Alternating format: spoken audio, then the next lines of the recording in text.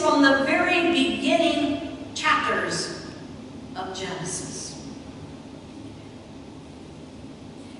You know, we use an apple, but we don't know it was an apple. Probably was not. It was probably some fruit we never even heard of. And I wonder why we used an apple, because it's red, it's tempting, it's alluring, tastes good.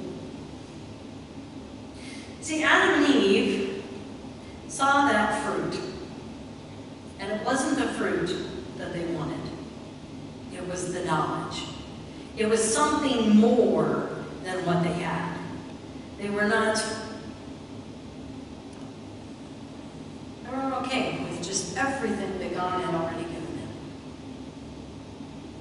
And because they wanted more, because they wanted to desire to be like God, they sinned tied that knot, that first knot of separation.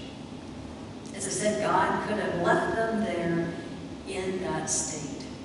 But right away in those verses, it said he was already talking about a Savior. He was already talking about a sacrifice. One that would be so much bigger that would come way down the road. That would save all humanity and stop sacrifice altogether. And it was because of the redemption of Christ. It was because he did the impossible and he literally squished the head of Satan. And he took sin and death.